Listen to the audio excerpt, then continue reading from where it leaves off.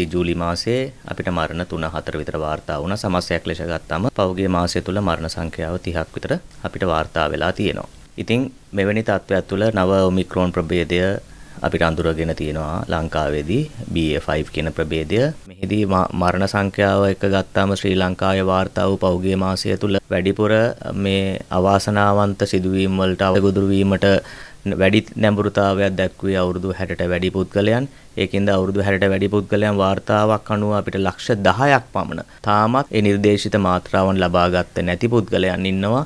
ඒකින්ද අපි නැවත මතක් කර සිටිනවා ඔබ සියලු දෙනාටම ඒ එන්නත්කරණය කරා යොමු වීමෙන් ඔබ ආරක්ෂා කරගන්නවා වගේම සමාජයත් ආරක්ෂා කරගන්න කියන එකයි. ඒ වගේම ඔබේ නිසි සෞඛ්‍ය මාර්ගෝපදේශ නිසි සෞඛ්‍ය සිරිත් බිරිත් ඒ අයුරින්ම පිළිපදින්න කියන එක මොකද එමගින් තමයි අපිට මේක වළක්වා ගත හැකි වන්නේ.